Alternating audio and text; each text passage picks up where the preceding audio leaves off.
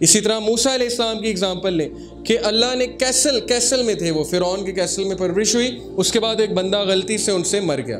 उन्होंने उसको पंच किया, बंदा मर गया एंड ही बिकेम लिटरली एक मुजरिम बन गए वो, उनकी आँखों में, किसकी आँखों में? उस गवर्नमेंट की आँखों में and he had to flee अब सोचें कि एक बंदा भाग गया एक जगह से, उस पर कत्ल का इल्ज़ाम है और भाग के कहाँ पे गए जंगल में। और जंगल में कोई फाइनेंस नहीं था उनके पास, कोई रहने की जगह नहीं थी, किसने इंतज़ाम किया? अल्लाह ने अल्लाह ने उनका निकाह भी करवाया, उनका इंतज़ाम भी किया और जंगल में उनकी प्रेपरेशन की। तो अल्लाह कुछ लोगों को जो है वो महल से उठा के जंगल में ले जाते हैं और कुछ लोगों को जो है वो जंगल से उठा के महल में ले जाते हैं। जंगल से उठा के महल में किसको लेकर गए थे?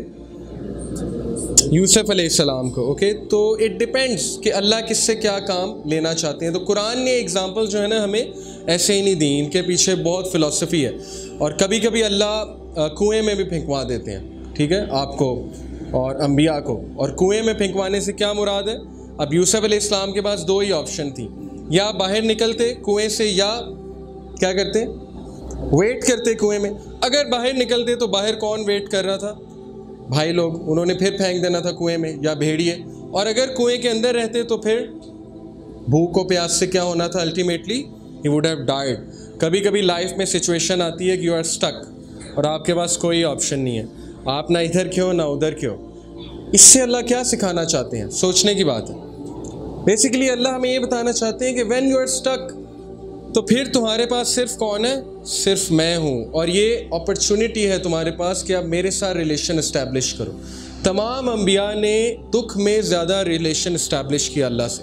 सुरह अम्बिया में अम्बिया की क्वालिटी बताई अल्लाह सुबहान ताली ने कि जब उन पर गम आता था तो हमारे ज़्यादा करीब हो जाते थे।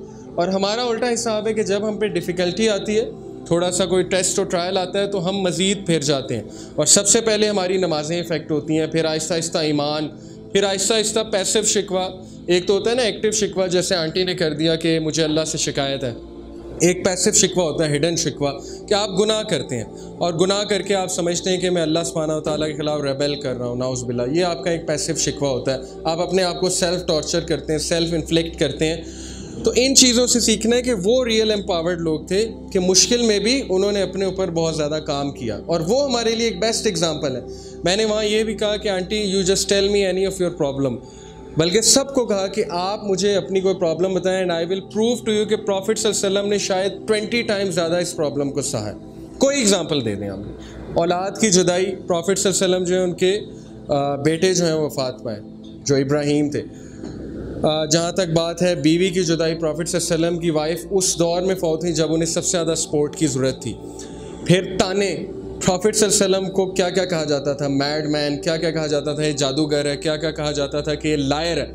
एक झूठे को भी झूठा कहे ना तो वो माइंड करता है। तो सोचें कि एक सच्चे तरीन इंसान को झूठा कहा जाए तो उसके दिल पे क्या बीती होगी? एक पागल को पागल कहो तो माइंड करता है। बट एक अक्लमंद आदमी को आप पागल कह रहे हैं, और पागल भी कौन कह रहे हैं? रिश्तेदार।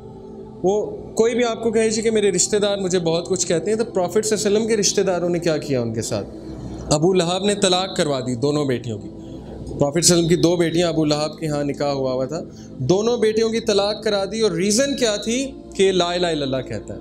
और ये मुस्लिम हो चुका है, हमारे दीन से फिर चुका है। तो प्रॉफिट वसल्लम ने इतनी डिफ़िकल्टीज झीली हैं, इसके बावजूद इसके बावजूद, गौर से सुनिए, इसके बावजूद उनके चेहरे पे स्माइल इसके बावजूद सबसे मुतमिन शख्स वो, इसके बावजूद फैमिली के साथ सबसे अच्छे वो, इसके बावजूद लीडर भी वो, इसके बावजूद सोसाइटी को भी वो रन कर रहे हैं, लीडर बन के भी आ रहे हैं सामने, कमांडर बन के भी आ रहे हैं सामने, और अल्लाह का दीन उन्होंने जो है वो कोने कोने तक भी पहुंचाना है, यानी इतनी रिस्पॉन्सिबिलिटीज़ और इस सब के बावजूद, दुख के बावजूद, गम के बावजूद, इन सारी चीज़ों के बावजूद ही smiling and he is the most uh, amazing person. He is the most happy person. He is the most satisfied person. तो सोचें कि क्या था प्रॉफिट वसल्लम के पास? क्या उन्होंने कोई साइकोलॉजी पढ़ी थी?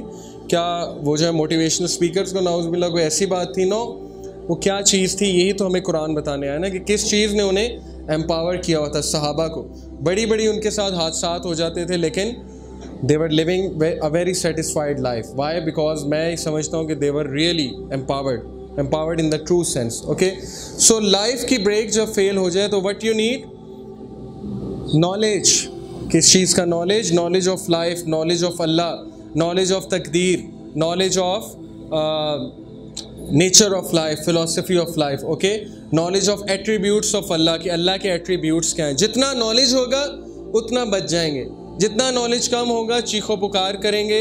और लोगों पे डिपेंडेंट हो जाएँगे और लोगों से बैक करेंगे, जा, जाके कि मेरी मदद करो, मेरा ये करो, मेरा वो करो। जबकि नॉलेज जितना होगा तो याकूब अल इस्लाम वाली पर्सनैलिटी होगी कि even though he was in sad state उन्होंने कहा कि मैं बेशक अपनी सैडनेस और अपना ग्रीफ ग्रीफ जो है ना, ये बहुत प्रोलॉन्ग सैडनेस को कहते हैं। एक तो सैडनेस है ना कि आज मैं सैड फील कर रहा हूँ। एक है ग्रीफ ग्रीफ है प्रोलॉन्ग सैडनेस प्रोलॉन्ग सैडनेस क्यों थी प्रॉफिट याकूब को?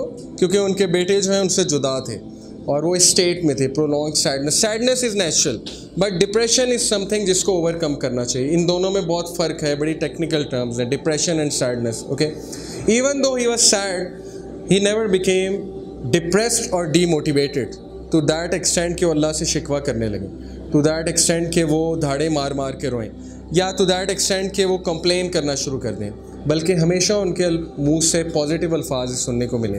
कुरान ने उनका रो, उनको रोल मॉडल बना के पेश किया। उन्होंने कहा कि बेशक अल्लाह अगर यूसुफ को ले गए हैं तो उसको वापस ले आएँगे। और फिर एक आयत में हमें पता लगता है उन्होंने कहा कि जब उनका दूसरा बेटा चला गया बिन यमीन भी चला गया था ना एक मौके पे तो उन्होंने कहा कि अल्लाह उसे भी ले आएँगे और बिन यमीन को भी वापस ले आएँगे और एग्जैक्टली exactly ऐसा हुआ। सो so, ये होता है एम्पावर्ड इंडिविजुअल और इनको नॉलेज था। अगर नॉलेज ना होता तो शायद इसी तरह होता जिस तरह से आज सोसाइटी में हो रहा है। So this thing is very important that is to have knowledge then Allah सुबहाना ताला ने कहा ना कि and that man shall have nothing but what he strives for one लई सलिल इंसान इल्ला मा कि इंसान को वो मिलेगा जिस चीज़ की वो स्ट्रगल करता है ओके? अगर आप अच्छी चीज़ों के लिए स्ट्रगल करेंगे, आपको अच्छी चीज़ मिलेगी।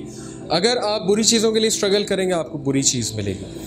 ऐसा नहीं होता कि घर बैठे बैठे जो है ना, वो काम हो जाता है। You have to stand up जब कोई मुश्किल आ गई है, आपको अपना थिंकिंग टैंक ऑन करना है और अल्लाह से मदद भी तलब करनी है। मुसलमान के पास तो एक एक्सेसिव एडवांटेज है एक्स्ट्रा गोरे तो सेल्फ मोटिवेटेड होते हैं ना, वो अपने आप को मोटिवेट करते हैं स्टैंड अप होते हैं। फिर भी मुश्किल आती हैं उन्हें बट मुसलमान के पास तो एक डायरेक्ट शॉर्टकट है that is the help of Allah almighty okay so this is very important और पॉइंट ये है कि स्ट्रगल है स्ट्रगल अगर आप स्ट्रगल के लिए रेडी नहीं तो फिर कुछ नहीं हो सकता.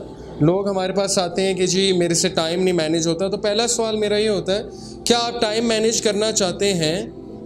दैट्स द फ़र्स्ट क्वेश्चन अगर आप करना ही नहीं चाहते तो फिर आप टाइम वेस्ट कर रहे हैं. मैं आपको बुक्स रिकमेंड कर दूँगा टिप्स बता दूँगा, सब कुछ बता दूँगा, लेकिन आप करना ही नहीं चाहते so how you will manage time तो desire has to be there okay और struggle has to be there आप अपना रिलेशन इम्प्रूव करना चाहते हैं, अगर हैं तो फिर ठीक है। फिर ये ये इसका हल है। बजाय के रोने धोने के और कंप्लेन करने के, वो जो थ्री डेडली सीज मैंने आपको बताए कम टू द सोल्यूशन